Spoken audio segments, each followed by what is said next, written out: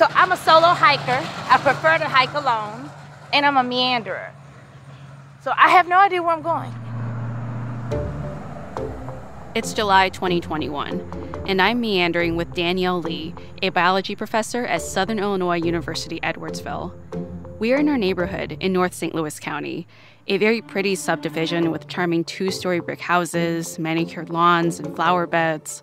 But where Danielle and I are heading, just down the road, isn't as pretty. But this is a city owned park? This is a city owned park. Wow. This is Wilderness Park. Wilderness Park is a dense spot with lots of weeds, overgrown trees, and brush.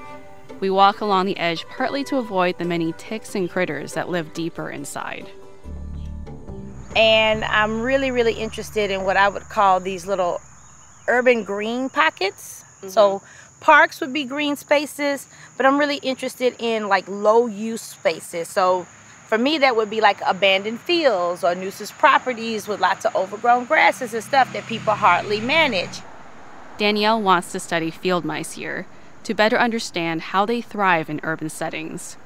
I'm really interested in understanding how the rodents that we consider a problem uh, make a living both uh, off of us, near us, with us, as we walk around Wilderness Park, she tells me about how this space is ideal for field mice and many other kinds of wildlife. We know that deer live around here. Like we see deer all the time around here. We know that there's fox around here. We know that there's rabbits around here. We know that there's squirrels. We know that there are hawks. The more I walk around with Danielle, the more my eyes are open to the rich wildlife that's so close to where she and her neighbors live. I'm interested in the ways that all this amazing wildlife can live right next to us and thrive, and we don't recognize it. And because of that, we it's actually understudied. Like the things that's closest to us, we assume someone already is studying that, mm-hmm. and uh, very often it's not. Danielle is kind of famous for being excited about science. If you don't know her, a Google search will show you what a big deal she is, whether it's her many Scientific American articles about conservation and STEM diversity, her tens of thousands of Twitter followers, or her TED Talk on using hip hop to teach science. And a big reason she does all of that is because she didn't see black women like her doing science when she was growing up. I was speaking to my younger self. I was putting out there what I wish I had had growing up. So, the role model I wish I had, an example of science expertise or science enthusiasm. So I was dreaming at the time, I was still dreaming of potentially a career of being a science TV show host. You'd be great at it. You'd be so great at it. Yeah. And like one of the jokes with one of my friends is that he was like, I can see you like being in the hood doing crocodile, like the crocodile hunter stuff. Like, here we are in the middle of the hood going after the robins.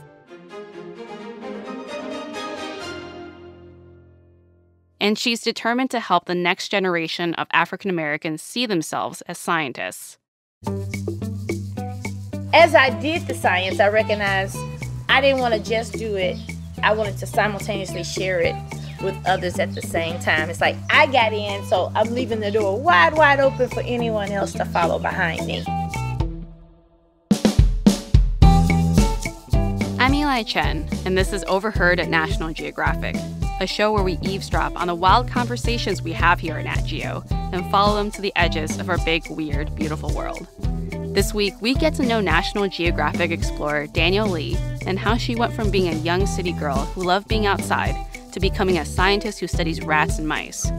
She'll share what it was like to be a female black American scientist doing field work in Tanzania and among white communities in the rural Midwest and how she's trying to change science to be better and more inclusive of Black communities. More after this. I grew up in South Memphis, Tennessee. Um, and I spent a lot of time outside. And so I spent a lot of time watching animals right outside my door. Danielle's mom worked for the former Memphis Park Commission. So when she was a kid, she would spend her summers at day camps in the city's parks. So I think that's where my meandering uh, solo hiking spirit started because I would just gallivant out.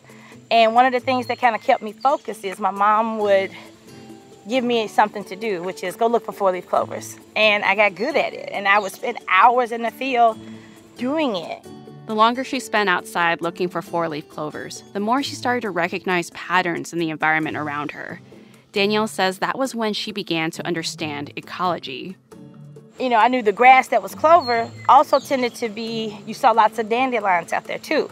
I noticed the bumblebees that would flit from clover flower to clover flower to clover flower. I knew after so long, when the grass got so long, they would mow it, and then I wouldn't see any of those things again. I knew when, you know, like I, I started putting things together. Like, okay, when the grass gets this long and the crabgrass gets tall, I gotta start looking out for garter snakes. Like I understood a bit of a cycle to expect. As she got older, Danielle knew she wanted to pursue a career with animals and tried applying to veterinary schools, but she didn't get accepted into them. So instead, she pursued a master's degree in biology.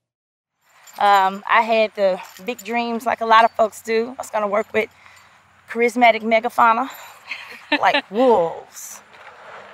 Yeah, wolves. That's what I had in my head. I wanted you're, to do. You're, you were going to become the wolf lady. I, I want. I thought I did. I wanted to, you know, do that like big game stuff, super sexy stuff.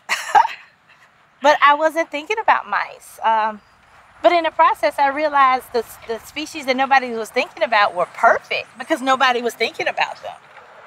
And now Danielle has studied rodents for more than two decades.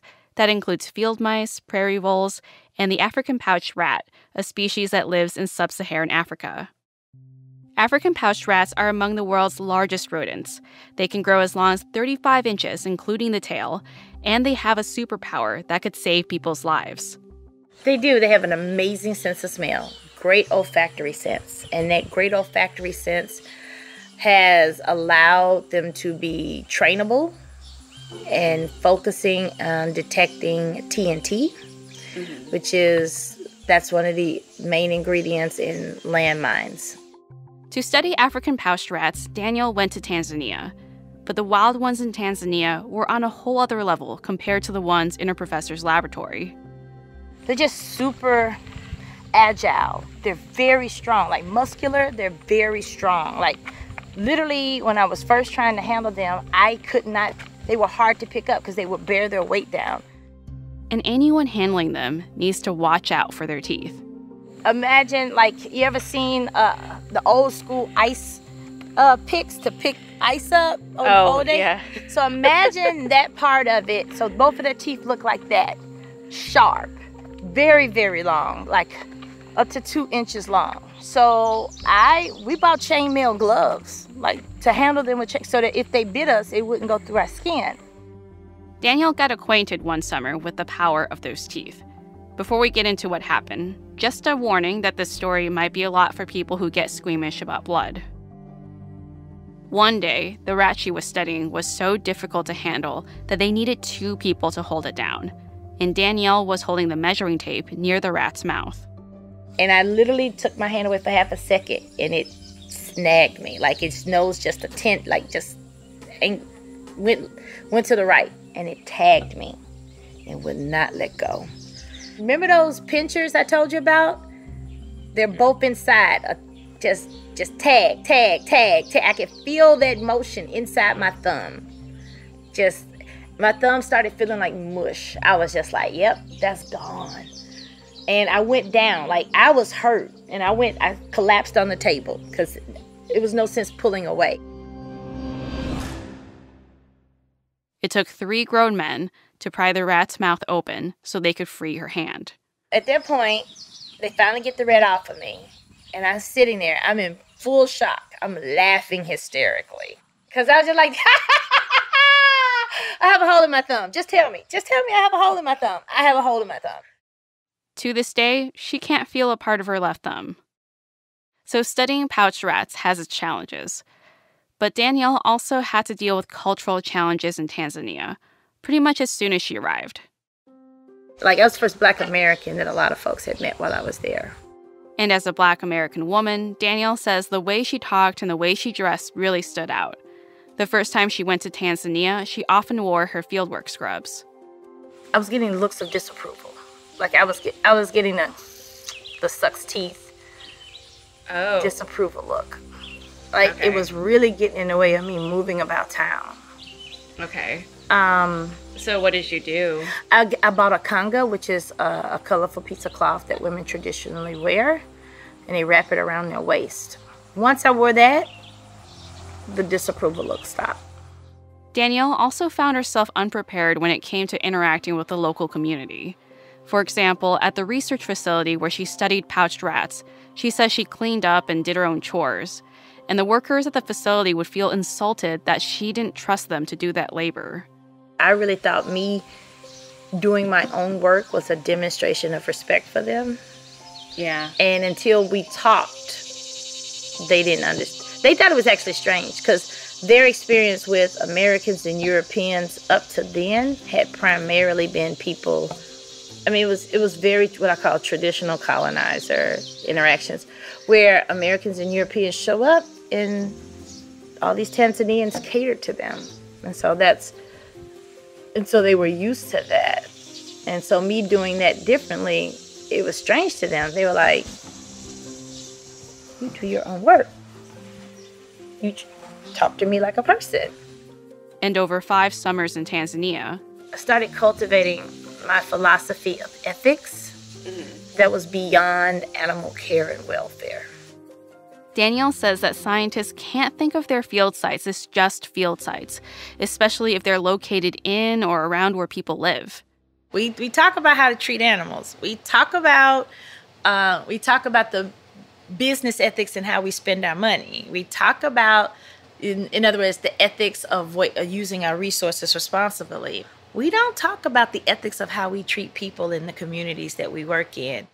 She thinks that scientists coming in from outside need to build relationships with the communities they want to work in and respect that local people also have expertise that's valuable to doing science.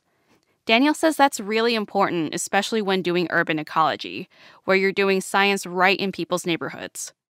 I think urban ecology is especially good for that because folks recognize, like, oh snap, I'm here working and folks are coming out on their porch watching me. You know, like, I think urban ecology is going, is should be and can be the leader in teaching all of ecology, especially that's done here locally in the States.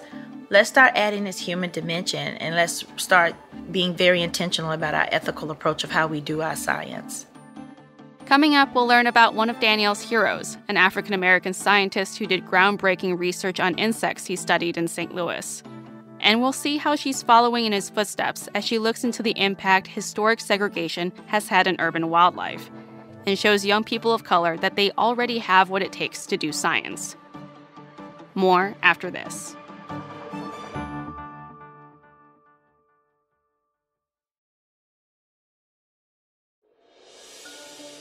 In the early 1900s, a man named Charles Henry Turner moved to St. Louis after getting his doctorate in zoology at the University of Chicago. But being black, he had trouble finding a university that would hire him as a professor, even the schools where he earned his degrees from. They wouldn't hire him as a professor because they couldn't imagine hiring a Negro to teach white students. So Turner took a position teaching at Sumner High School in St. Louis, the first black high school west of the Mississippi. So he taught at Sumner and he continued his science research career studying insects. He did groundbreaking research in bee behavior as well as other invertebrates and ant lions and other bugs. Turner conducted that research at parks in St. Louis and ultimately published more than 70 papers during his career. He did some of the first studies on honeybees and their ability to perceive colors and visual patterns, and how they change their behavior based on past experiences. Danielle says a lot of people aren't aware of him because his papers were often not properly cited by his contemporaries, and he didn't train any graduate students. He didn't have what we call academic progeny in, in the traditional sense. She says the lack of recognition for his findings really hurt scientific progress. So, in the years that we weren't teaching about him, people were essentially rediscovering what he did. We waste time when we don't include all the information we have available to us. As Danielle looks for field sites to study rodents, she feels like she's following Turner's footsteps, scoping out the same parks and green spaces in St. Louis that he did. Like me, he he was working with what he had. And he found a teeming, beautiful, exciting, vibrant research space in his own backyard. That's what I'm excited to do as well. A century has passed since Turner did his fieldwork in St. Louis, and it's still tough to be a black scientist. For Danielle to do the fieldwork she wants to do in black and white neighborhoods, she'll need what she calls caring protocols. Do I have to worry about physical safety against another person, whether it's assault, whether it's a misunderstanding? Even before a white woman threatened to call the police on black birdwatcher Christian Cooper in New York Central Park in 2020, there's been a long history of black people finding outdoor spaces unsafe to be in. Black naturalists, black field biologists have been saying for years, coming up with our own unofficial protocols for how to keep ourselves safe in wild spaces that are historically thought of as white spaces. Danielle says she first realized she needed caring protocols in the early 2000s. She was a PhD student studying field mice and prairie voles among farms in central Illinois, and nearby residents often reported her to the local police. And I'm working on people's farms, so I had permission. Like, I was either working on rural farms that were owned by the university, so I had permission to be there, police kept getting called on me. Neighbors were always calling the cops on me. Always calling the cops on me. It got so disruptive that she had to talk to the local sheriff. It wasn't that I was being called for trespassing. Folks were calling on me because I didn't belong there or this idea that I was suspicious. So it was always, what are you doing? Why are you doing it? And of course, then as I got to talking with them and they see me with they're like, that's fascinating. Tell me more and the local sheriff decided to put a system in place if people kept calling about Danielle. You know, he asked me the pertinent questions How long are you going to be here? When do you come out? What do you do? And he wrote it up. He's like, I'm going to leave a detailed note with dispatch. So when the next calls come about you, we can handle it and quit sending people out. That's when it hit me that I had to have some sort of protocols. With caring protocols in mind, Danielle is scoping out places to study mice all around the St. Louis area to get a better understanding of mice populations across black and white communities.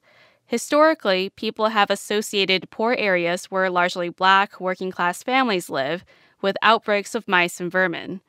Danielle says it's worth investigating what's allowing mice to thrive in these areas, whether it's substandard housing, a lack of city services, and how segregation or policies that created inequities between black and white communities has played a part in all of that.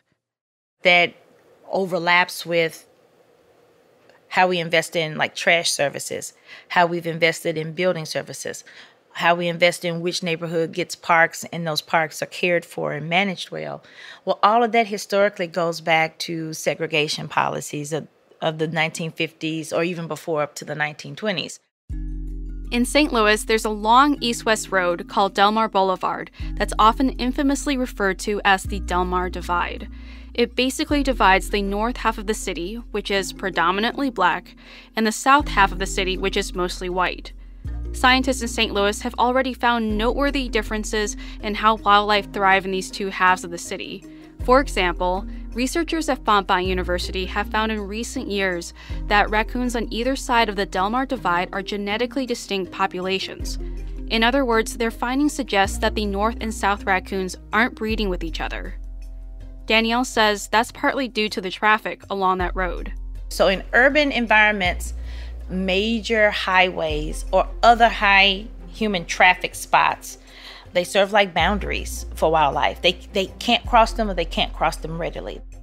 There's also city services to consider, like how often trash gets picked up. Raccoons love a good garbage pile or parks that have like trash that's overflowing. There are better services provided in the South. North St. Louis has long been underserviced when it comes to trash pickup, and there's also many incidents of people from outside the city illegally dumping trash on vacant properties. The city has thousands of vacant properties as a result of redlining and decades of disinvestment, especially on the north side. To a lot of people, they're eyesores that attract crime. To a biologist like Danielle, these places are opportunities to study wildlife. People aren't there. We're not managing those lands very, very closely. So they're not getting mowed a lot. They're not getting, you know, chopped down. So wildlife is actually able to thrive in those places. And so we see uh, how wildlife, the land that they have access to, how they move, so the amount of green space they have is functionally different because of segregationist policies that were put on the books 50 years ago that still has an imprint on us today. Danielle says finding out what kind of mice live in the city and where they live could potentially help communities that are more affected by them. How can we help communities that deal with a disproportionate amount of allergies and asthma uh, that are carried by either dander or feces, potentially food contamination and sickness that is spread by these mice and rats? So think about rats and mice as vectors. So that information is important and it helps us to know where we can put resources so that people we can help get rid of some of these diseases we see according to zip code. So, just as doing fieldwork in black neighborhoods could lead to social justice in underserved areas, Danielle sees it also as a way to perform social justice and improve equity within the realm of science. In other words, doing science in black communities and in partnership with them could help change the way we think of science spaces and who takes part in science. We don't typically think of black spaces as science spaces. And I would love to rethink this idea of black spaces as science spaces. And what that means is we treat people with respect. Danielle wants to show people that science spaces are accessible to everyone and that people with science degrees aren't the only ones who have scientific knowledge of the spaces they study.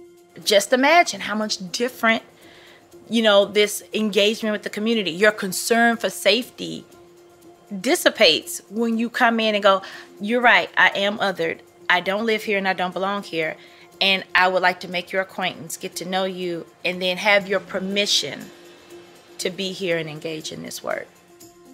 And over time, she believes that the inclusion of Black communities in scientific research could change the way young people see science and help young people of color see themselves becoming scientists. That's the long game.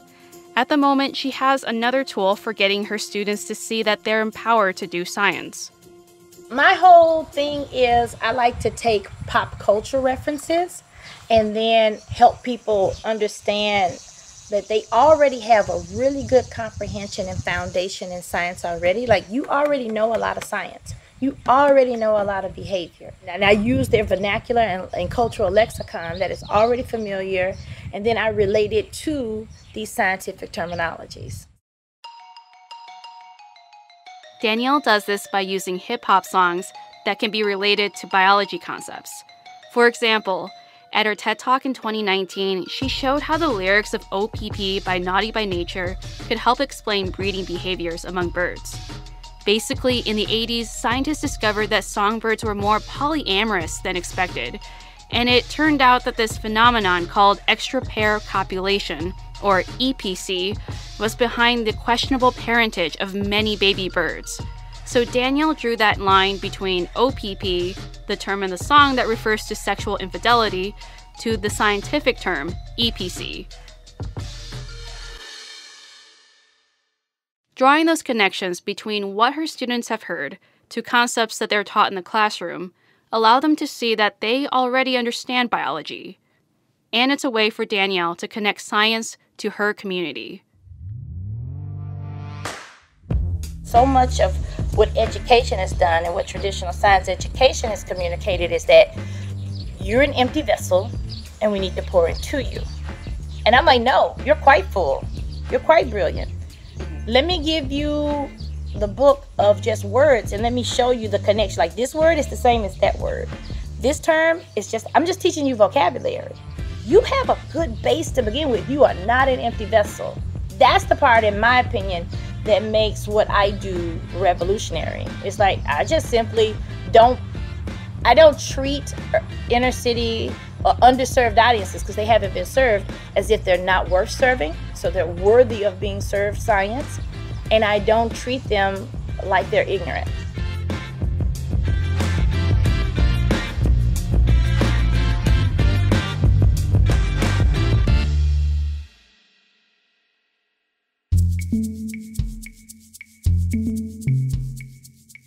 If you like what you hear and want to support more content like this, please rate and review us in your podcast app and consider a National Geographic subscription. That's the best way to support Overheard. Go to natgeo.com slash explore to subscribe. And if you can't get enough of Danielle, be sure to check out that TED Talk where she uses OPP by Naughty by Nature to explain biology. And you can also hear two personal stories she's told live on stage for the science storytelling podcast, The Story Collider. And for more on the emerging field of segregation ecology, we've linked to a piece about how access to green space is affecting the behavior of urban coyotes. All this and more can be found in our show notes in your podcast app. Overheard at National Geographic is produced by Khari Douglas, Ilana Strauss, and Marcy Thompson. Our senior producers are Brian Gutierrez and Jacob Pinter. Our manager of audio is Carla Wills, who edited this episode. Our executive producer of audio is Davar Ardalan. Our fact checkers are Robin Palmer and Julie Beer. Julie Howe is our photo editor, and our copy editors are Caroline Braun, Amy Kolczak, Cindy Leitner, and Jennifer Vilaga. Hansdale Hsu sound designed this episode and composed our theme music. This podcast is a production of National Geographic Partners. The National Geographic Society, committed to illuminating and protecting the wonder of our world, funds the work of National Geographic explorer Danielle Lee. Whitney Johnson is the Director of Visuals and Immersive Experiences. David Brindley is National Geographic's Interim Editor in Chief. And I'm Overheard Senior Editor Eli Chen, host and producer of this week's episode. Thanks for listening, and see you all next time.